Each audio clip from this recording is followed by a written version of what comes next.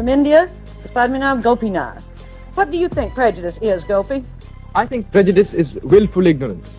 Uh, it is dictated only by emotion, and the fear and suspicion it creates uh, has caused more bloodshed than anything else I can think of. And as all great people, I always seem to think that they're English, and aren't I lucky to be an English person because it's so nice? Well, that's extremely interesting because uh, I've noticed that most uh, Englishmen think that history began with the signing of the Magna Carta.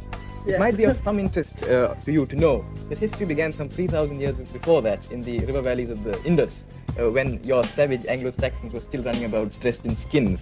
Because I would say that India was friendly towards Britain. I should say so, and that is the credit which lies entirely with us and not with you.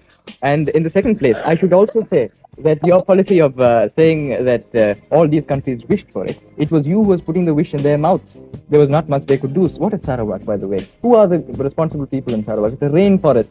Anyway, the British come there and say, after all, Sarawak wants nothing. The rainforest never speaks anyway. And then you, you get get your, uh, uh, you give them a democratic way of life in due course of time. You are not giving those people a democratic way of life because you feel they ought to give it. This is just a camouflage retreat from a position you know is no longer tenable. Sarah, the amount of uh, wealth you took out of India, that is nothing compared to what you did for us. You took tremendous amount of wealth. You built up the whole British kingdom from India. But, That, but what is material wealth?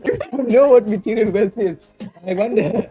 You, do you realize that without material wealth, your great empire would not have lasted a single moment? And do you also realize that it was because of our wealth, with our, our crops, our cotton, our jute, which has helped to make you a great empire? And after, in return for this, you offer us a vaguely nebulous democratic way of life, which you would have come to anyway. In my country, I think we had the ideals of democracy long before they were ever thought of in your little island.